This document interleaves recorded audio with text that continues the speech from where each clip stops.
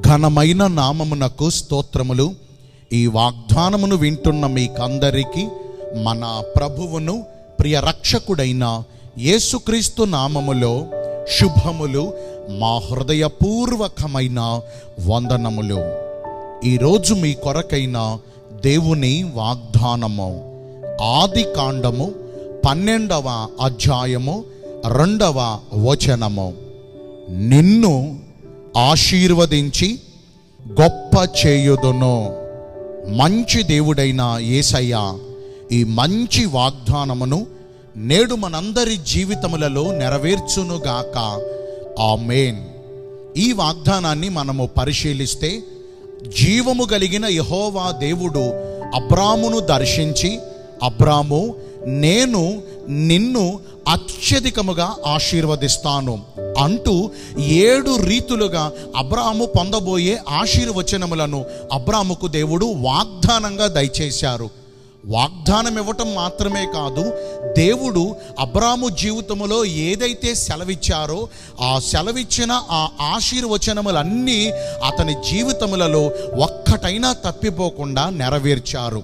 ఆది కాండములో మనం పరిశీలిస్తే అబ్రాము బహుకాలము గడిచిన వృద్ధుడై ఉండగా యహోవా అతనితో సెలవిచ్చిన ప్రకారము అన్ని విషయములలో అబ్రాహామును బహుగా ఆశీర్వదించారు.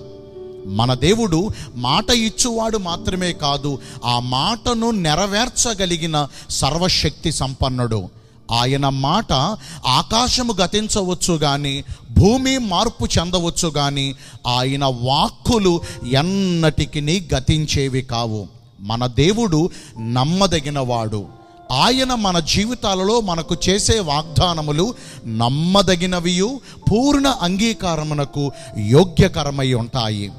మరి ఈ రోజున ఈ వాగ్దానం నేడు మన జీవితాలలో ప్రభు నెరవేర్చాలంటే మనము ఎలాగున ప్రవర్తించాలి? ప్రభు ఎప్పుడు మనలను ఆశీర్వదించాలనుకున్నా ఆయన కొన్ని షరతులు మనకు విధిస్తారు. ఆ షరతులలో మొట్టమొదటిది ఈరోజు మనం వింటున్నాం. ప్రభు మనలను ఆశీర్వదించాలంటే మనము కొన్ని కొన్ని ప్రాంతాలు విడిచిపెట్టాలి.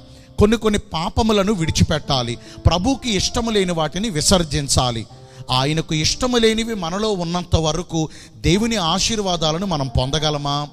దేవునికి ఇష్టము లేని కార్యాలను మనం జరిగిస్తూ దేవునికి ఇష్టము లేని స్థలాలలో మనం నివసిస్తూ దేవునికి ఇష్టము లేని మనుషుల మధ్యన మనం జీవిస్తూ ప్రభు అద్భుత కార్యాలను మనం పొందుకోగలమా? ప్రభు స్పష్టంగా సెలవిస్తున్నాడు.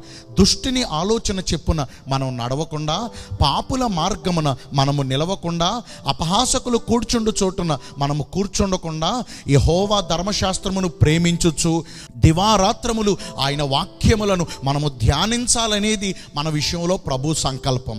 ఈ రోజున మనము పాపులతో సహవాసం చేయకూడదని పాపిష్టి జనాంగం మధ్యన జీవించకూడదని ఒకవేళ లోకములో జీవిస్తున్న ఆ లోక పాప మాలిన్యం మనకు అంటకుండా మనలను మనము కాపాడుకోవాలనేది ప్రభు కోరిక. మరి ఆయనకి ఇష్టమైనట్లుగా మనం ప్రవర్తిస్తే అబ్రహామును ఆశీర్వదించినట్లుగానే మనలను కూడా అన్ని విషయాల్లో ఆశీర్వదిస్తారు. రెండవదిగా అబ్రాహము మాట పొందినప్పుడు ఆ పిలిచిన దేవుని మాటను అతడు నమ్మాడు.